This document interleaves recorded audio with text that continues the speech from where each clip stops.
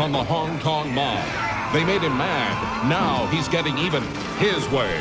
Forced Vengeance, Wednesday at 8 on Channel 5.